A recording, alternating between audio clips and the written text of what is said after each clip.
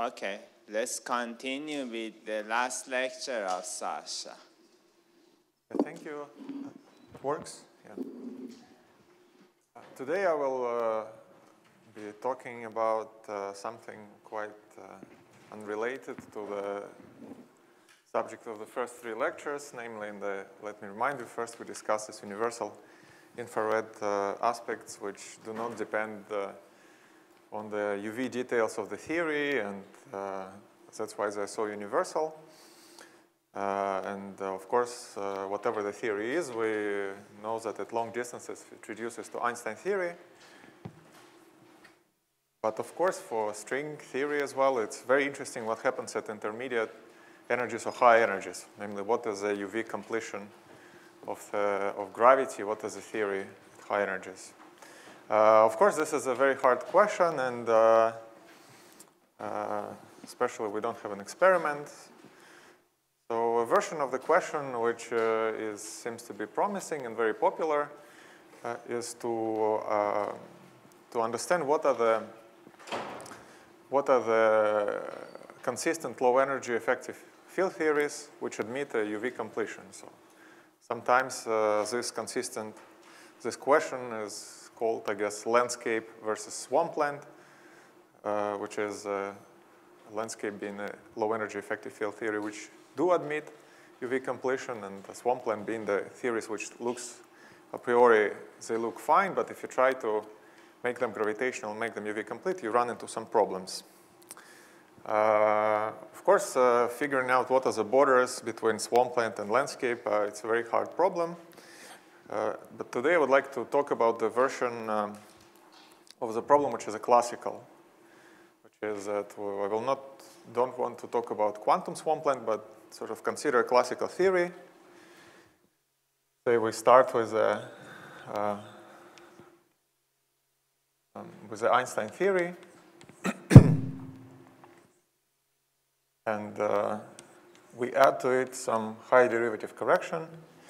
Let me write an example, some famous example. But you can imagine all kind of terms. This term called uh, uh, this term is called the Gauss-Bonnet term. It has two uh, two prominent features. First, in four dimensions, when uh, when d equal four, when d equal to four, it is topological. And also, if you if you consider equations of motion and some background, for perturbations are second order still. So it's a, it's a, it's a, well, it's one correction, but the question which I would be having in mind is completely general, which is that imagine that uh, you have some, some theory with many high derivative corrections, maybe extra particles, et cetera, et cetera. And the question is, how can we constrain these theories? What, is the, what is the landscape of consistent classical theories of gravity? So important point here when I, when I, uh, I want to emphasize that this question is classical, by this I mean that we have a, say, Planck scale, which controls quantum corrections, which would be very high. Uh, and there is an extra scale, which is more like a string scale, which controls this extra high derivative corrections. So I will be always working to leading order in the Planck scale, but to say to order order in string scale. That's um, uh, that's uh, an important point. And of course, an example of such theory which, which has this kind of corrections is a string theory. That's one example. And uh, from the studies of these questions, there are two, um, sort of two messages maybe uh, that one can, what can see is first that uh, this type of high derivative corrections, uh, for theory to be consistent, you need uh, higher spin particles. You need an infinite number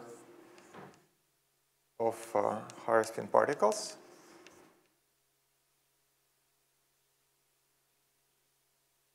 and uh, higher spin, I mean here spin larger than 2. And let me remind you that graviton is a spin 2. That's a graviton. It's the first thing which I would be uh, uh, talking today, and it's related to, again, some uh, as the previous lectures was some modern twist on uh, old topics, this will be also uh, some modern twist on the old subjects, old uh, general relativity ex experiments.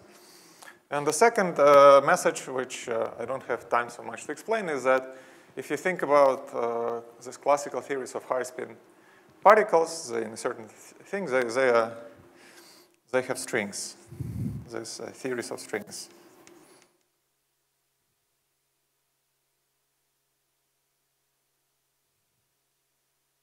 It would be nice to turn it into a theorem and uh, to prove that, if you wish, that the string theory of strings is this universal mechanism of having uh, consistent interacting series of high-spin particles. So it's not that you, well, you, there are probably many ways to, uh, to end up in string theory, but from this point of view, you start with this problem, you correct gravities, and you want it to be consistent, you, you see that the only way you can do it is to have strings classically. Of course, uh, I'm not proving here that string theory is a theory of the universe because, uh, because it's a classical problem.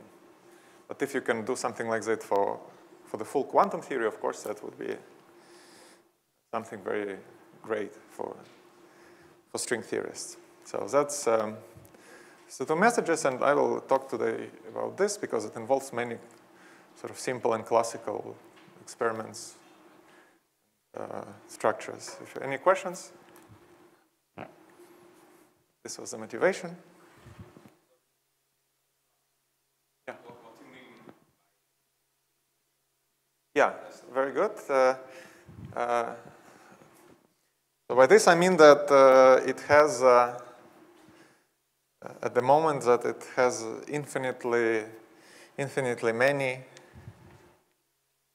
uh, say, asymptotically linear Regge trajectories. And uh, that, uh, well, and all the other predictions of effective theories of strings, but uh, I, I don't know how to prove that.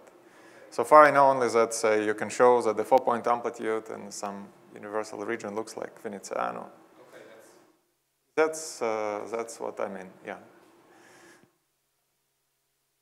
That's what probably, well, ideally one would like to show more. Uh, that's what I mean at the moment. The object which I would like to discuss today, it's, uh, uh, it's scattering amplitudes. It's a nice object because it, uh, if you're dealing with, uh, with you're dealing with actions, there are field redefinitions. But if you want to talk about invariant data, it's, uh, it's packaged in the scattering amplitudes. So the object which we would like to discuss is a 2 to 2 scattering.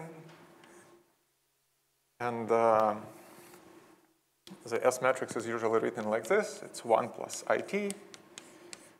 Uh, it's unitary. Well, I will not use it too much, at least in this sense. And uh, the T has a sum of a momenta times an amplitude.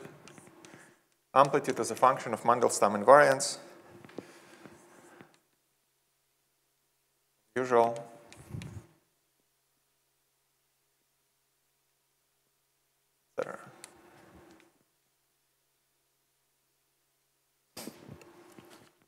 Okay, what is the source of the problem? Why is it, why is it that suddenly we started with uh, was a theory, and uh, we would like to constrain it. So what would be the, where would the juice is coming from? How do we get these constraints? How do we get these claims? Uh, to do that, it's useful to recall some basic facts about scattering amplitudes, and then, um, and then we will find that uh, what, what is special about gravity and uh, high spin particles is uh, its high energy behavior. And as we will see that the high energy behavior is very uh, constraining. So recall that if you have a, let me start with something simple, that you have a, if you have a, a two particles and you exchange particle with a spin j, you can show you can compute the amplitude, then uh, this diagram behaves s to the j. This is a known fact. Uh, well, if you simplest example is consider a scalar field. Then you have a, take this diagram, it will be equal to 1 over t, which is at large S behaves uh, like S to the 0. Now you can consider, uh, instead of uh, a, useful, a useful formula is to, or a useful experiment would be to consider instead of scattering in momentum space, imagine two wave packets. Um, so we have particle 1 and 2, which are separated by some distance b. That's, uh, that's now, you imagine two wave packets which in the transverse space separated by distance b. And, uh, yep. Sorry? Yeah. So you have you can if we add the diagram, it will be one over s. Yeah. But at large energies, this dominates. Yeah. Um, now in the in the impact parameter space, uh, sorry, this guy is called impact parameter. Uh, in the impact parameter space, uh, the S matrix takes this form: one plus say i delta. Delta is called the phase shift, and this one is the same one, but this one is secretly a bunch of delta functions. Uh, and this one is literally one. And the phase shift is related uh, as follows to the scattering amplitude. It's 1 over 2s integral over transverse, transverse momenta. And you take an amplitude, some s and t minus q squared. So S, you, you think about it as just the energy of a scattering, and Q is the exchange momentum. So if you do a Fourier transform, oh, something is missing. You do a Fourier transform with uh, respect to exchange momentum, you get a phase shift. Now, wh where is the problem? Where the problem comes from? So the problem would uh, would like one would like to impose is, uh, is causality. For example, that we want our theory to be causal. And uh, to motivate it in two steps, let me first think, uh, you can think of scattering as, a, as a, especially if it's a high energy scattering, where there is no much deflection going on, particles just acquire some phases, which then you can think of scattering as a propagation through the medium. So imagine I send uh, many particles.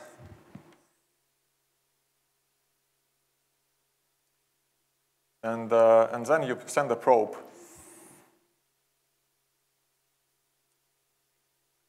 So you can think from the point of view of these particles, this other, this other particles is just a medium. And then we would like this medium to be uh, such that the propagation is causal. Say it's not faster than speed of light. Uh, a simple model to, to think about when we think about propagation through medium, through the medium is, uh, is to think about some signals. Imagine you send a, you have a black box. In this case, this black box can be made of gravitons. So this black box made of gravitons uh, transforms ingoing signal to outgoing signal.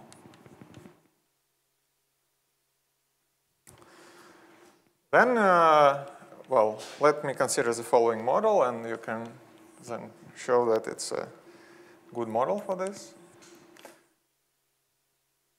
We can uh, imagine that the black, this uh, black box does um, transforms the signal through some S matrix.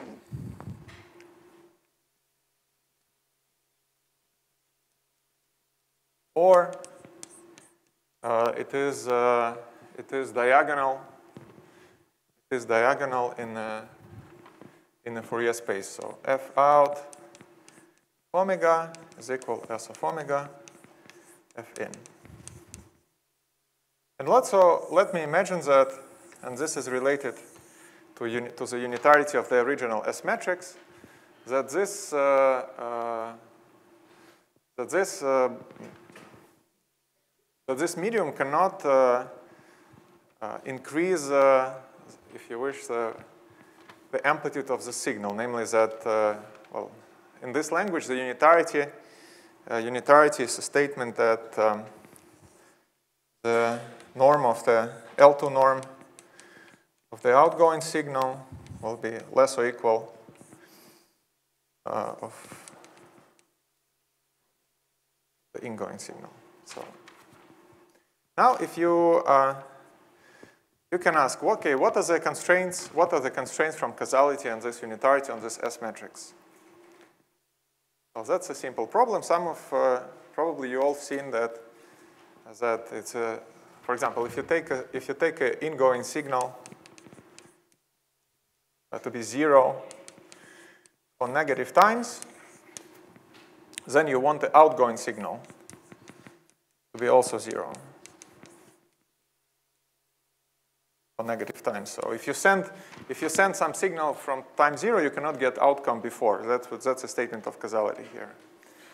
Uh, this uh, implies that this S matrix uh, is analytic in upper half plane in omega. And together, if you if you but you can imagine that S of omega is uh, something uh, which is analytic in upper half plane, but it can be some growing function. But you can show also that this unitarity, it's a simple exercise, um, that it's, uh, if you go to the upper half plane, that it's less than one. It can only decay. Otherwise, you will get that uh, the, the norm will be growing. So this is a kind of medium we would like to have. And now we can think of the scattering amplitudes if we, if we, if we imagine this uh, set of scattering events. Yeah, I, I, let me repeat again everything what I'm saying here. I consider this signal model where uh, the incoming signal is transformed to the outgoing signal through the S matrix, which is a function of omega. I assume that it's unitary, and by unitarity here I mean that the norm of the outgoing function is less or equal than the ingoing function. And uh, now I impose that this, um, this S of omega is causal. Namely that uh, for if incoming, if incoming signal is zero, then outgoing is zero, and then that it's unitary. And I'm saying that the condition that S of omega should satisfy, it's, it's analytic in upper half plane. It's the first condition. And moreover, it uh, decreases in upper half plane, so it's less than 1 when you go to the upper half plane. For example, you cannot have something like e to the i omega cube. This is analytic in upper half plane, but it blows up in some directions in upper half plane. On the other hand, you can have something like this. This is analytic in upper half plane, but it decays in upper half plane. And this is uh, related to the uh, difference between particles spin 2 and higher, as we will see now. Now it's a little bit of work, but uh, morally you can see it even from here that you can think of the, uh, of the scattering events as this, this, this medium and uh, that providing this S of omega, with S of omega being controlled by delta. And then we, uh, we see that um, the condition of this type that S of omega is less than 1 becomes, in our model, something like 1 plus i delta S of B be less or equals than 1 in the upper half plane. So yeah, you can say S is S naught plus some i gamma. Recall again that we said that uh, if we exchange a particle of J, and this model is good at high energies, so particle just rush through each other without deflection. Uh, so what happens if we imagine that this is a, we exchange some particle with spin J?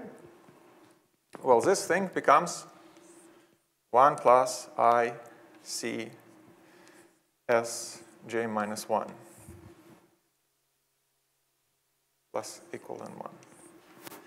Now you can see the following things. Well, first, uh, uh, you can consider, and here I'm working to first order in C, because um, uh, I assume that this is a small phase, otherwise I have to um, say, I assume that the coupling is weak, so I'm working to first order in C.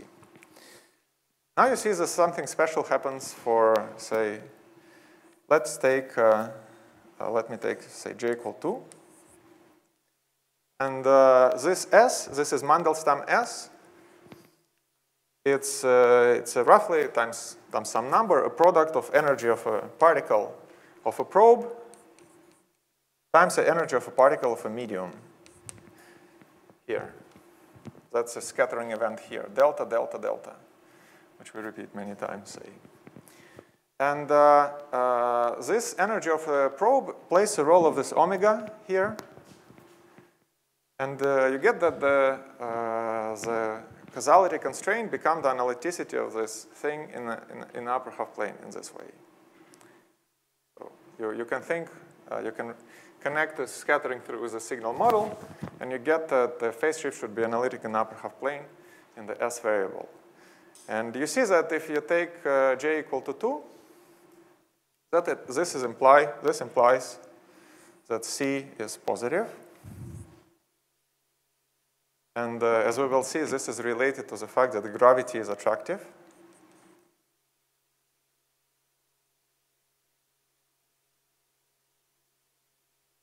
Um, then if uh, j larger than 2, uh, this is always violated. You will always find a direction in a complex plane where it grows, no matter what c is, is bad. And this is related to the fact that higher spin particles are problematic by itself, so it's very constraining. As, as soon as you add one higher spin particle, you should add infinite number of them. Because imagine you just added one higher spin particle, then it grows like s to the j, then you will violate this, we're in trouble. That's why when we add one higher spin particle, they always come infinite number of them. Sorry? Yeah, so the, well, it fixes roughly that you have to resum, and when you resum, it becomes softer, so like in string theory. So this is not a correct formula anymore. We have to have to resum infinite number of particles. And uh, they, they resum in phase is in such a special way, such that uh, high energy amplitude becomes small. Well, maybe it's not the correct model, but you can imagine something. Well, it's you resum x to the n, and there is a finite radius of convergence, but the large x asymptotic is controlled by information. Now you can ask what happens. Yep.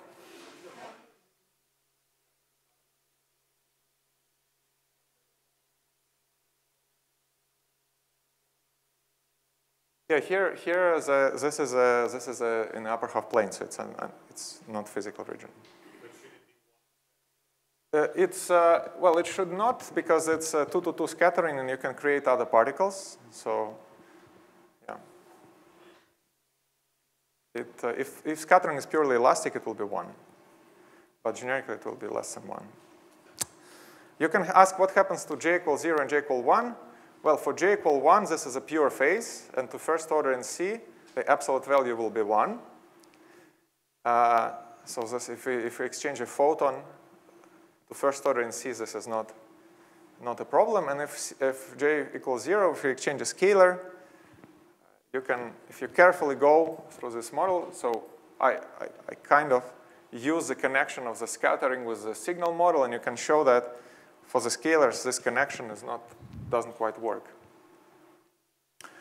Uh, but uh, the, the message from here is that we see that uh, uh when we have a graviton, we, uh, we, have, we, have, we have fine potentially, and when we have high spin particles, we have to worry.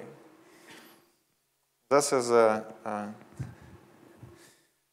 that's the source of these constraints on the classical landscape, landscape of classical theories of gravity and high derivative corrections. And the idea will be roughly that as soon as you start adding the high spin, as soon as you start correcting the gravity, you can find a regime where the C becomes negative, or you will violate causality in this medium. And then when you will try to fix a problem, uh, we would have to add all of these guys, but each, each of them is by itself problematic, so we'll have to infinite number of them, and then the problem is fixed. That, that's a, the idea. And then we can study the theories of these higher spin particles by themselves and try to see what are the conditions that uh, they resum up correctly and don't spoil the high energy behavior. Let me explain a little bit uh, in more why, why is it related to causality and uh, what do we mean when we talk about causality in gravity. Because, uh, well, in gravity, you can say the space-time fluctuates. So what is, a, what, is what, what, what do I mean when I say causality? And here the notion of causality in gravity, which I'm having in mind, is what is called um, what is called asymptotic causality. And um, this is due to uh, uh, Gao and Wald, paper about time delays. And the statement of asymptotic causality is, uh, well, the idea is, as we also discussed in the previous lectures, that uh, far away, uh, so space-time fluctuates, but if you go far away, you have a rigid asymptotic structure. So for us, it was Minkowski space. And uh, the idea is that we, we cannot send signals uh, faster than what is allowed by the asymptotic structure. What is allowed uh, by the asymptotic causal structure. So Wald and Gao, uh, they actually were uh, proving theorems. So you assume, uh, you start with GR, and you add some matter which satisfy null energy condition, and then you can show that, the, the, when, when you say, let, let me draw, a, say, the simplest, the cleanest thing is, a, is to consider ADS. So ADS is a gravitational box. Uh, so asymptotic, asymptotic structure is the boundary of the cylinder. It's just uh, Minkowski, it's a flat space. So you have a light cone. And now you can imagine that you you added some matter here in the middle of ADS. So you can imagine sending signals either through the bulk, or you can imagine a signal through the boundary, next to the boundary. And the idea, uh, the theorems of Gao and Wald and the notion of symptotic causality is whenever you're going through the bulk, it can only slow you down. It cannot speed you up. You can, never, you can never go faster through the bulk than what is allowed by the boundaries. You cannot uh, arrive somewhere outside of the light cone. In the context of ADS CFT, it is especially clear because if you have two CFT correlators, then you know that the, the commutator should be zero when they're space-like separated. That's the notion of causality. So asymptotic causality is, uh, is this kind of notion that asymptotic uh, correlators, asymptotic operators should commute. And when you go through the, uh, when you go through the bulk, it can only slow you down. Uh, simplest example, if you take, a, uh, so you can see that if you take a negative mass Schwarzschild, it will speed you up. But if you take a positive mass Schwarzschild, it will slow you down.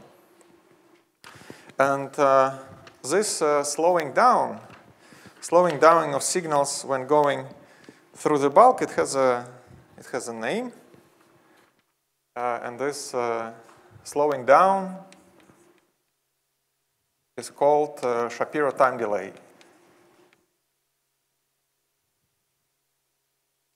So what is Shapiro time delay? Well, as you know, uh, there are three. Uh, yes, and uh, the idea is that the idea is that we take this effective theory of gravity, gravity plus high derivative corrections, and we impose this asymptotic causality and see what are the constraints and the corrections. Um, what is a what is a Shapiro time delay? Well, as you as you might have heard, there are three classical tests of general relativity, which is uh, shift of mercury perihelion, deflection of light, and uh, gravitational redshift of light. And so in 1964, Shapiro posted a paper uh, called the force, force test of general relativity. And the, the idea is that if you send the signal to Venus or Mars and it reflects back when it passes by the sun, it will slow this signal down. And you can measure this effect. Uh, it's uh, thousands or 10 to the minus fourth of, of, a second, something of this order, I think. Uh, and this is an example of this slowing down when going through the bulk. So let me compute quickly for you uh, a Shapiro time delay. Uh, let me consider a metric which corresponds to two Schwarzschilds. So it's, uh, I consider metric which is um, Minkowski space plus 1 to 2. I added uh, two Schwarzschild solutions. Of course, it's not an exact solution of uh, Einstein equations for uh, usual two sources, but it's a good approximation, and uh, can imagine doing that. And imagine I put, uh, say, I have some transverse plane, and I put one source at uh, impact parameter B, and another source at impact parameter minus b, if you wish. And now we will send the particle from infinity passing between these two, two Schwarzschilds. So it will go from minus infinity to plus infinity. And because uh, it's symmetric, it's symmetric, there is no deflection because there is symmetry. If you put one of them, there will be a deflection. But if you just, uh, if you choose a symmetric configuration, what happens is the light does not deflect, but the uh, Shapiro time delay accumulates. So what we, what we will find is that we will now compute the time, time it takes light to propagate from minus infinity to plus infinity in the presence and in the absence of, um, of uh, these two masses. Let me do this computation. So there is this Ri. So R1 is uh, simply, say, x uh, minus b, and uh, R2 is x plus b. x is its the usual coordinates. Uh, now, um, we can imagine that uh, the, well, the, the problem, we can localize the problem in this transverse plane and study the propagation of light in this metric. So for, for light, this thing should be zero. And uh, say, uh, in this case, we can call this, very, this direction z. Then uh, both uh, these r, r they, they equal to b squared plus z squared. If I consider a position of the particle, um, then uh, this difference is simply b squared, and this is the coordinate z. So we get the equation of the type, if we say that it's a if it says that it's a geodesic, we get that 1 minus 2rs over r d minus 3. You can get it. Check that this is a correct thing. And dz square 1 plus 2 rs over r d minus 3 square over r square. It's a little exercise to plug this and check that it's correct. And now from this, we can compute uh, uh, the change. Uh, well, we can find uh, delta t as an integral over dz from minus infinity to plus infinity. And we have a, uh, well, from this we get equation for dt over dz. We compute dt over dz at r minus dt over dz when rs is equal to 0, so it's just Minkowski. So this is a relative delay compared to propagation in flat space. Well, and you get uh, something which looks like uh, some numbers, which we don't care about, times over b to the d minus 4.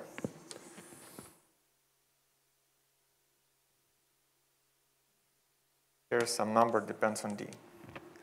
So if you consider propagation of light, you get uh, that uh, it's get delayed, and the delay is uh, 1 over b to the power d minus 4. An interesting exercise, which I will not do here, is to repeat the same thing for the, uh, for the particle which moves with velocity v. So here we had a particle which moves with the speed of light. This was a photon. If you repeat uh, the change for the particle with the speed v, you will get that it's 1 over v, 1 over v. And here, curiously, you get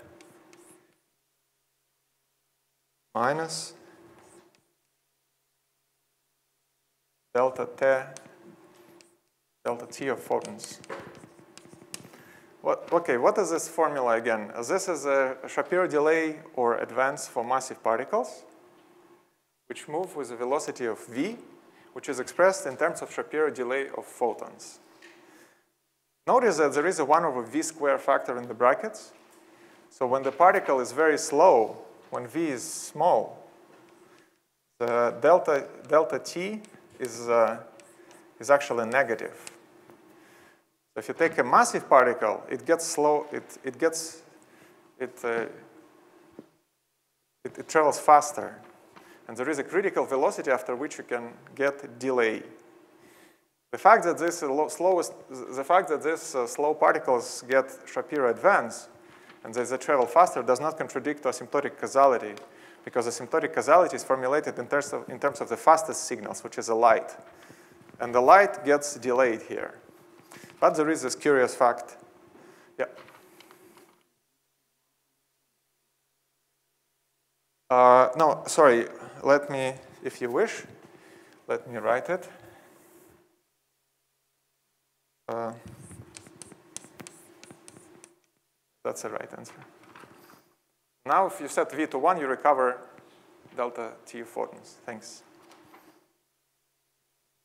This is a, this is a classic, uh, classic results from the 70s, which is a computation of a delay from a planet. When the, when the light passes by the planet, it gets delayed. If a slow particle passes by these two planets, it gets advanced.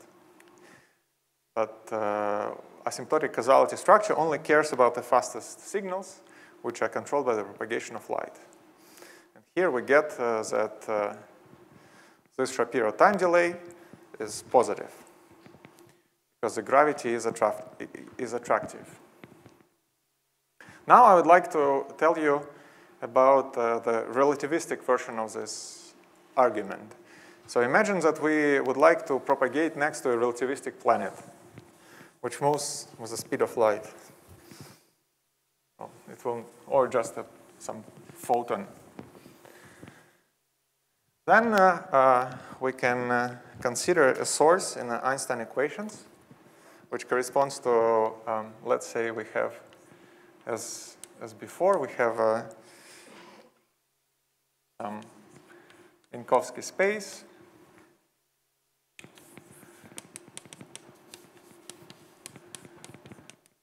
where u minus whatever x uh, d minus 1 and v plus x d minus 1. And now we add a source to this. So imagine we have a relativistic source, which is, uh, is this. It's uh, some particle which moves along the light cone with some momentum pu, and it's localized in the transverse plane.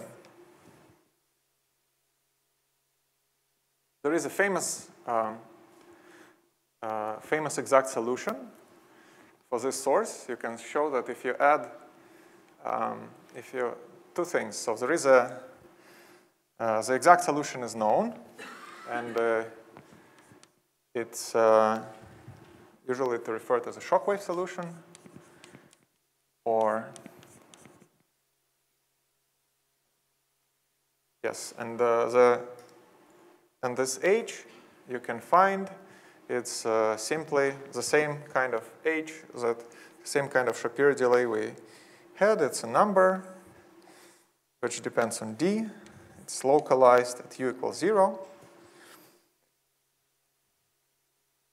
And instead of rs, which roughly measures the mass of a planet in the units of g, you have now the momentum of this source in the units of g, and you have the same r transverse in this space to the d minus 4. Now, two comments. First is that uh, this is the exact solution of Einstein equation. It's the first comment It's not a linear. And the second comment is that uh, uh, actually you can find, if you add any type of corrections to Einstein theory, you can write, write any polynomial terms, whatever you like, this is still an exact solution. That's a peculiar fact which uh, you might wonder about, and, but then I will try to explain another explanation why it's, it is not so maybe uh, surprising that, uh, that it happens. In this, uh, in this language, what happens now if we send another a probe along through the shock wave? Uh, what happens is that here is our particle. So the shock wave is localized at u equal to 0. And find the geodesic, and you will find that as this particle jumps through, uh, it's get shifted by some delta v. And uh, if you try to embed it in a global space of Minkowski, you see that in the, in the original Minkowski, that's what will happen. But now it's get delayed. It, it arrives later. So this delta v, which, uh, which simply, if you compute, is equal to g p u, and again, uh, b d minus 4 times the number. uh, is a relativistic Shapiro time delay. Okay, that's fine. We, it's a nice uh, shockwave solution. It's, uh, it's exact. So far, so good. There is something curious happening if we try to translate this computation. This is just, we computed a ge light geodesic passing through this exact solution. It is curious and instructive to repeat the same computation using the language of scattering amplitudes. Let me do this quickly for you. Uh, and uh, let me consider for this, uh, for this purpose, uh, an exchange. What is this? What is the physics of this? What is, this what is the physics of this geometry? Well, the physics is very simple. This, uh, it's a propagation of one particle in the gravitational field of the other relativistic particle. In the language of scattering amplitudes, what we have is simply, uh, this is, a, say, our probe. This is the source. And they, uh, and they interact through graviton exchange. Let's imagine that all these particles are scalars. Then the result for this, with, not Witten, but Feynman diagram is simply 8pg s square over t. That's, uh, you can check. And now let's, uh, let's compute the, uh, the phase shift. As I tried to explain, if we, if we, if we, these are wave packets with separation b, yes, and here, um, sorry, I had to explain, I, you could have asked what is b here? So this is a two plane, and this there is a transverse plane. And I consider the source at the origin of a transverse plane. And I send a probe somewhere here, at the distance b. To avoid deflection, I can again consider two shocks, which are symmetric. But I neglect deflection for this purpose. So that's what is B here. And this is the same as the impact parameter, just by definition. Uh, now, uh, we had, to do this, we do the integral over transverse momenta, E I Q B. And here we have S square minus Q square. Remember that T is equal to minus Q square. Well, this integral you can take, it's trivial to do. You will, you will get exactly the same, uh, you'll get exactly the same d minus 4 times the same number. And if you re remember that S is something that like PU, which is the momentum of the source, times the momentum of the probe. Uh, and then you, uh, you can imagine that you start some plane wave, then you add this phase, then this phase can be recast as PV times delta V, and this formula exactly coincides with this formula. So you can either do the classical geometry computation, or you can take the scattering amplitude, compute the phase shift, and then take a plane wave and propagate it with add to this phase shift. And you can see that the phase effect of this phase shift is exactly effect of shifting the wave packet by, um, by uh, amount delta V. So there is an equivalence between this computation with classical geometry and the scattering amplitude computation. However, uh, something uh, you can ask, what is, a, what is a dual to this fact? Remember, I told you that this is an exact solution in any theory of gravity. You can check. This geometry is very special. It has some special symmetries such that it's protected against correction to the Einstein theory. What is the dual of this fact in the scattering, scattering amplitude language? And the, the answer to this is the following, that when you compute this integral, you can see, let me choose some, uh, uh, some b, some component, b1, q1. You can compute this uh, integral by closing closing the contour, and you see that the phase shift is controlled by the residue of the amplitude of the amplitude at t equal to zero. However, there is a simple fact that if you have an exchange of the particle, you have a pole, obviously, at this position, say. There is a fact that the residue of the amplitudes at this pole is equal to the square of a three-point amplitude. This is an optical theorem for tree-level amplitudes. The residue of the pole is the same as imaginary part. You have something like that. Uh, so this is, a, uh, if you have heard about optical theorem, that is an optical theorem for tree-level amplitudes. And um, and now, uh, since uh, this delta is controlled by the residues of the amplitude, you can ask, uh, what is this tree-level amplitude? And uh, the curious fact about tree-level amplitudes, which I will talk about next, is that they are completely fixed by symmetries up to a number. No matter what your theory is of gravity, just Lorentz symmetry fixes them.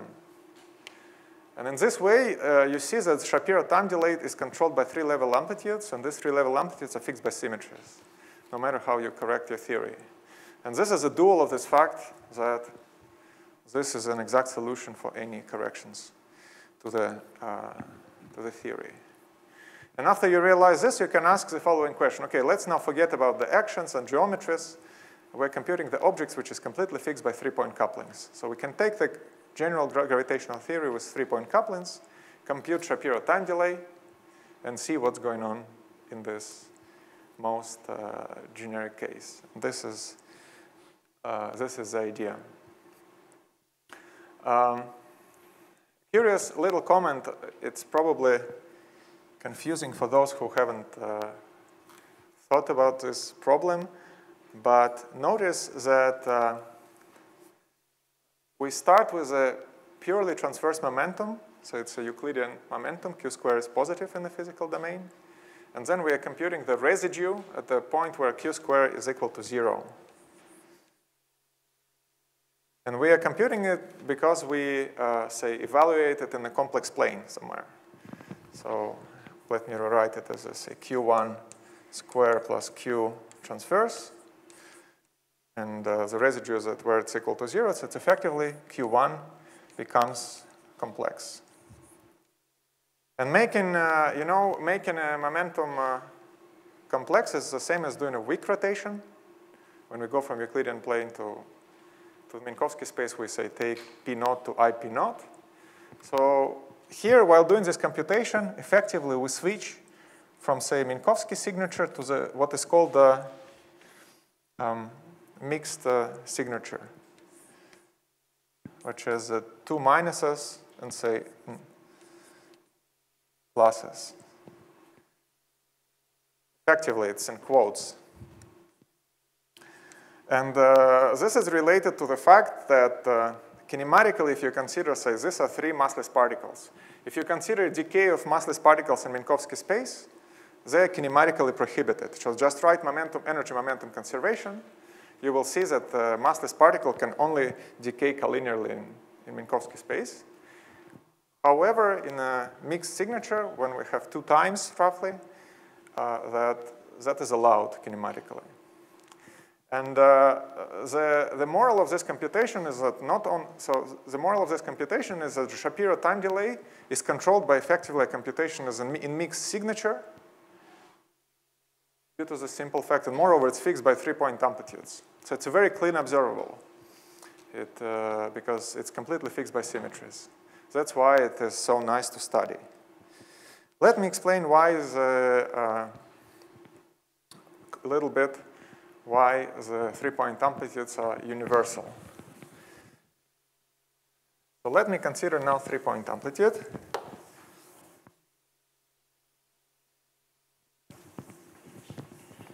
And you probably will hear a lot about them next week in the lectures by Marcus Spradlin.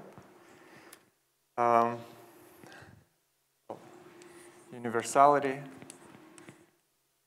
three-point amplitudes.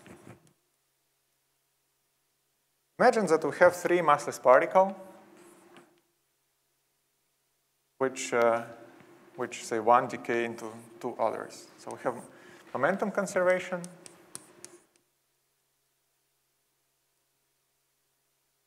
and uh, each of them is massless. Well, first, you can immediately see by taking square of this equation, move P2 or P3 to other uh, side and take a square, you see that uh, pi times pj is equal to 0. That's the first thing.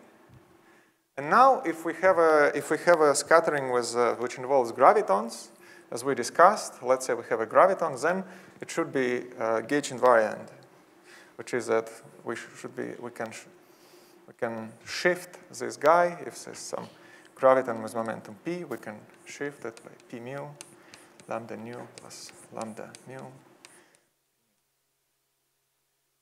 Uh, now, let's consider this process, which is two scalar particles interacting with a graviton. Uh, and let's try to write some amplitude. Let's say it's P1, P2, P3. Let's try to write some three-point amplitude. Well, uh, the answer is that there is only one thing you can write. P1 mu, P2 mu. This uh, uh, and some number in front.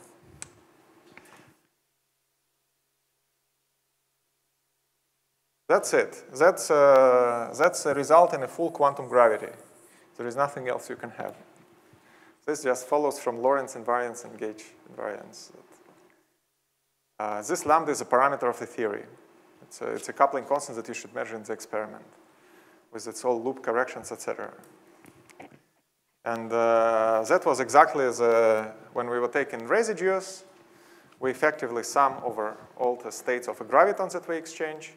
And so we get this uh, S square here by taking a square of two amplitudes, of three-point amplitudes. You can repeat the same exercise for the, uh, for the gravitons. And let me write you the result. If you repeat uh, the same exercise for the gravitons, so now take three, three gravitons instead. The result is that the three-point amplitude for gravitons it has three structures. The one of uh, Einstein theory, the one of roughly Gauss-Bonnet, and the one roughly of R cube. Riemann cube you can add to the, uh, to the action.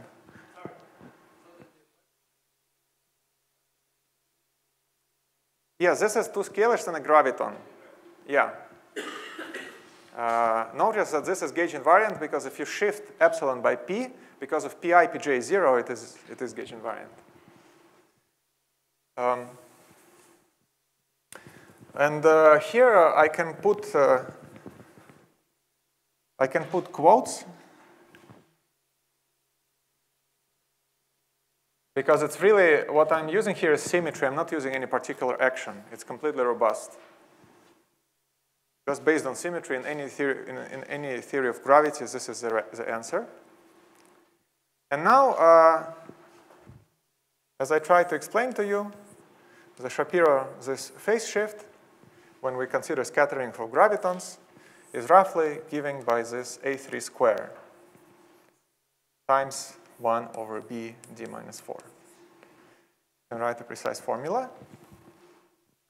Now you can uh, start playing the following game. Imagine you have the most general three-point amplitude, and you and you uh, we have a. So if this if uh, the Einstein theory is one, we have two corrections, alpha two and alpha four, say. So Shapiro time delay is a function of alpha two and alpha four. But it also, uh, it is also, since we are scattering, if we are scattering gravitons, it also is sensitive to the polarization tensors of our gravitons. You can polarize them differently.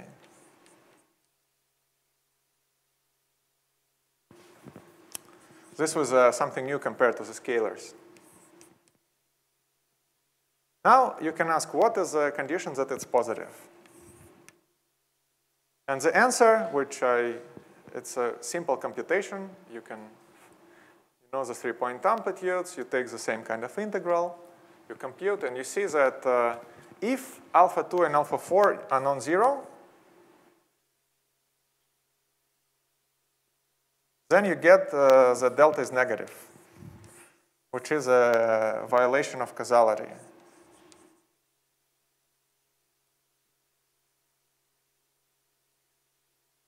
Uh, now, uh, that's the first conclusion. So as soon as you, if you, if you, if you correct the three-point vertex of the gravitons, and it's, then you get into this trouble.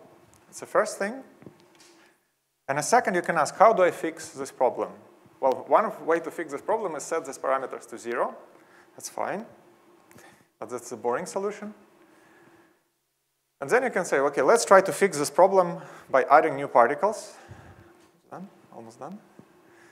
Uh, and then you can show that uh, uh, the only way you can uh, fix this problem is by adding of particles with spin larger than 2. Basically, you can repeat the same exercise. You start with three-point amplitudes of particles with some mass and some spin. Uh, and then you see that uh, unless if particles have spin 2 or less, they will not help you.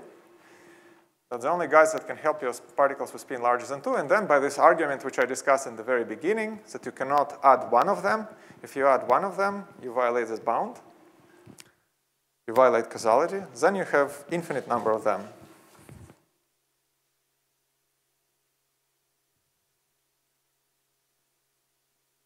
And, uh, and, and then uh, you can ask the following following bootstrap question. Imagine you have an amplitude, you have an amplitude with higher spin particles which generate phase shift, which uh, does not grow faster than, than S, according to this bound. And it's a unitary amplitude. What are the class of theories which, uh, what are the class of theories which have this property of high spin particles? And uh, this is a bootstrap prob problem. It's completely rigorous mathematically. You should just be able to classify such theories. And uh, the hope is that these theories will be theories of strings, and there is some evidence to that. Um, so let me reiterate. We consider this simple extension of this classical general relativity experiment, which is Shapiro time delay. We found that if you modify gravity in a very clean fashion, in a very gauge invariant fashion by changing the three vertices. Generally, we violate causality, and then the string modes naturally appear. Uh, the same experiment, uh, it doesn't matter, you can run in ADS or in de Sitter space. In cosmology, it doesn't, it's kind of insensitive to that. If we have these particles, we will have this problem. And uh, this is an example of this uh, um, swampland-like question where we started with uh, corrections to the theory, and at first glance it looks completely fine, but upon further investigation we saw that there is some problem. Of course, it's almost classical. It would be great uh, to, uh, to have uh, get such bounds in a quantum level, and probably you heard recently about this weak gravity conjecture, which is exactly the same type of question. Thank you.